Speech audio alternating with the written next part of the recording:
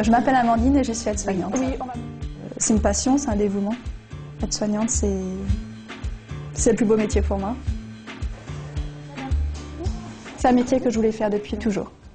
On est là pour aider, pour soigner. Ça veut dire avoir un rôle euh, de bien-être physique et moral par rapport aux patients. Par rapport à l'organisation de l'équipe, on est toujours deux. On travaille toujours à deux, le matin comme l'après-midi, on ne sera jamais seul. C'est très important. On ne sera jamais seul à lever un patient ou à coucher un patient. Parce que souvent, quand un patient a déjà des difficultés à se lever ou à se recoucher, être seul, des fois, ça ne les rassure pas. Tout ce qu'on fait, on aime, donc on le fait avec, euh, douceur, avec gentillesse, et je veux dire, euh, si on trouve ça ingrat à la base, euh, on ne peut pas être aide-soignante. Je pense pas.